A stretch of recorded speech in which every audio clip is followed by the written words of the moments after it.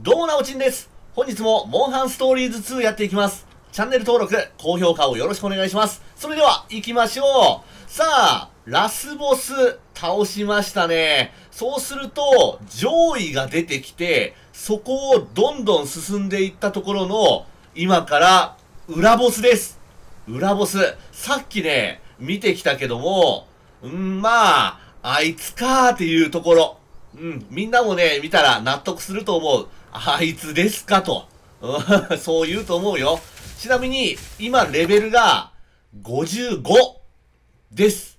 55、どうだろうね。まあ、そこそこ上げたつもりではあるんだけど、足りるかどうかわかりません。うん。この手前で、古竜とか、うん、倒したんだけども、結構厳しい戦いではあったんだよね。となると、裏ボスはどうだろう。うーん、まあ、行ってみましょう。はい、出ました。出ましたよ。こいつが裏ボス、ミラボレアスです。で、今さっき会ってきて、一発目の攻撃だけ、えー拝見してきました。最初はスピードです。最初の攻撃がね、分かってないと、ちょっと厳しいんだよな。最初が分かってれば、意外といける時があるから、最初は、スピード。なので、テクニックで合わせていきます。あ、あ、そうかそうか、武器は、えーとね、これだね。竜属性でいった方が、ダメージが上がるんだな。そしたらテクニック、おいい大丈夫じゃない ?551 うーんそんなもんかい。やー嘘。リベルトの攻撃でその程度だったっけ？全然ダメージ与えらんないね。いけ。いやいやいやいや。普通4桁いくよ今。とんでもない耐久力。ええー、で異常状態にもならないってやつ？えマジか。ここはライドオンでいったが良さそうな気がするな。よし。行け。ああそうか。そうだそうだった。今あのリセットしてきたから。そうだったそうだった。すば速さとかもそのままなんですかね。えー、うわ嘘！マジか！そうかそうかそうか。使ったからスキルゼロだった。まあいいか仕方ないね。おうおう。うわめちゃくちゃ食らうし。えー、っとテクニック。え怒ってる？怒ってないよね。怒ってないよねまだ全然ね。オッケーオッケー。とにかくまたライドオンして HP を回復したいね。えー、またなんかしてくんの？回復しましょう。なんだ？ヘルフレーム！誰に使ってくるんだい？いいダメージいいダメージ。全体かよ。おい。でしかもマジで追加ダメージあり。えこれは怒ってる？いやここは回復だ。一回回復しとこう。様子も見たいし。おパワー！ほら！やっぱり吐いてる息の濃さが違うようになってるもんね。今パワーなんだな。っていうことはスピード。えピード誰かいた？ああーわかった。そうだった。スピードはティガのえーと技があるんだ。そうそうそのためにティガを入れてるんだよね。いや絶対これ硬いでしょ。HP バカ高い。じゃないの？よし OK とりあえずこういう感じで攻めていってみます。なんとか加藤。おい立ち上がったぞ。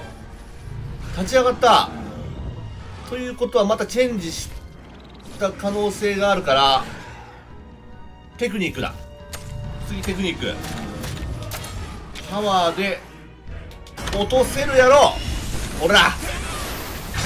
よし指破壊。ああ2回攻撃なのマジでマジかマジかマジか。これはやばい。あでもそれしてくれるんならば俺も回復が1回いけるね。あぶねえ。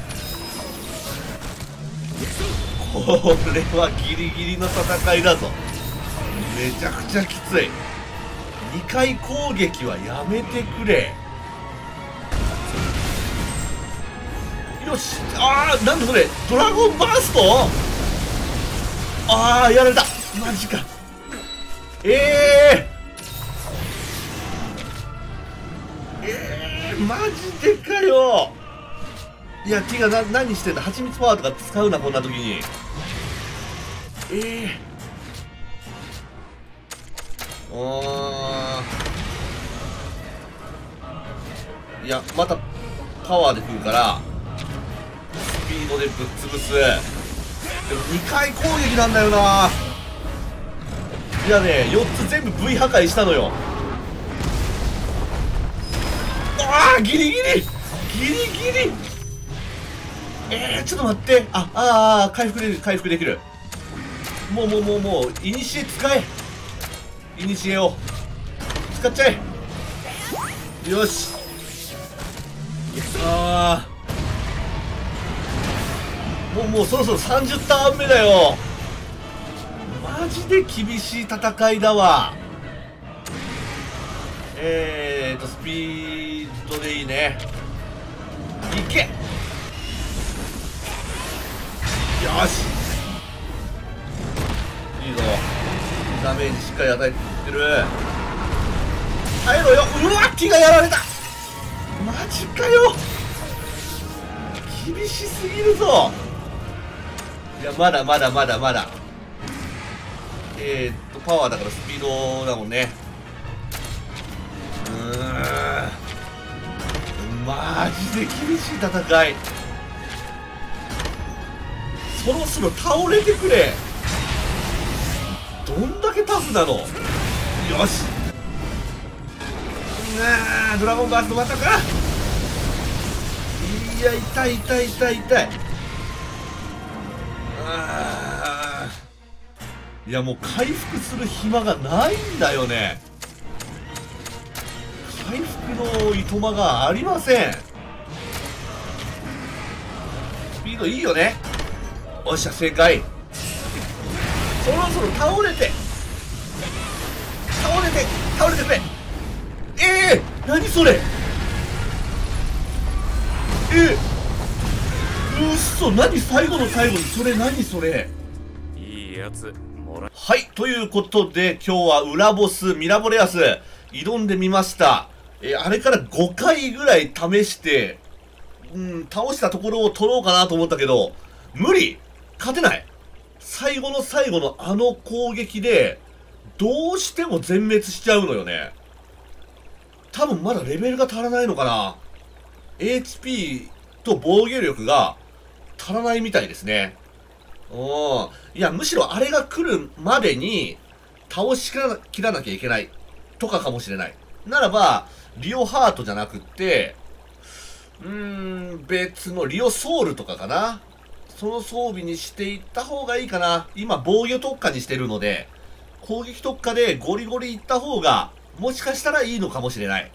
はい。まあ、とりあえずね、またやっていきます。チェックをよろしくお願いします。そして、チャンネル登録と高評価もよろしくお願いします。それではご視聴ありがとうございました。